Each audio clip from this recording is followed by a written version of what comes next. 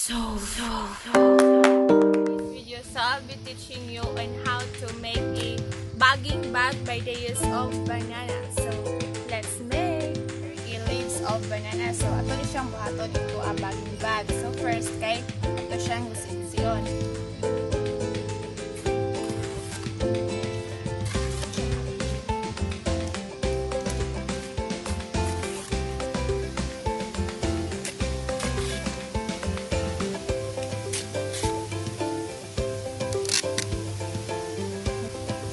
First, kaya ito siyang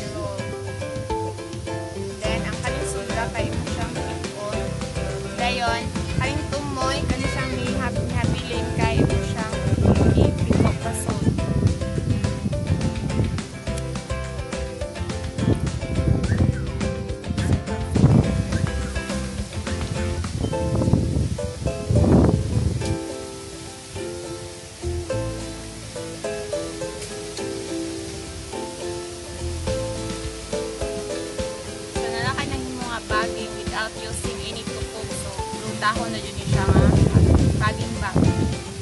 So, another. So, dapat kay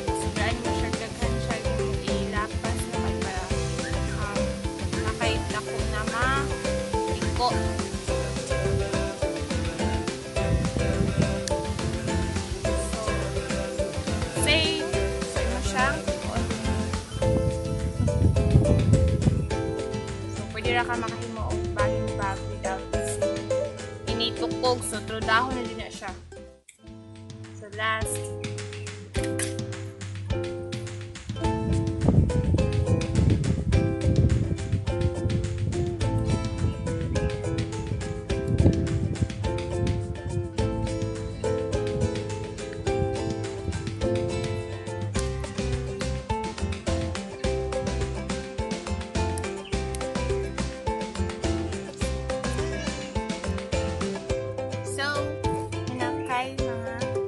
Ah, mga bagging bag na pwede nimo ka bagingan. So, mayroon siyang butangan og yuta, then siya nimo katamnan. So, kani siya nga bagging bag is parang ni siya sa kanang mga gagmay nga seeds para kanang gamay ra yuta imong ibutang. So, basically para siya sa gagmay nga.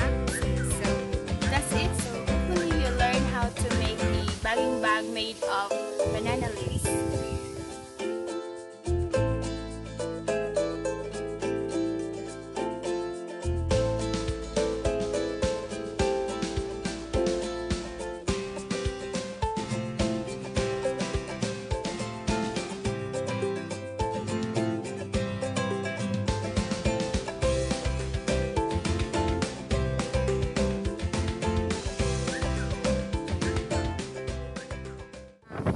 Banana bagging bag, no? So, this is very useful unlike sa plastic kay um, kung plastic man so dugay siya malata inig at ito naman siya ibutang sa tan sa sa uma. And unlike ano niya nga, if na na siya impeta na tam na nimo, so pwede na ni siya dayon na ibutang ra nimo dito dito. So, dili na nimo tanggalon kani kay ma lata naman ni siya dito sa yuta. So, This is more advantage than sa plastic na bag na gamiton para magbaging ka og mga seeds.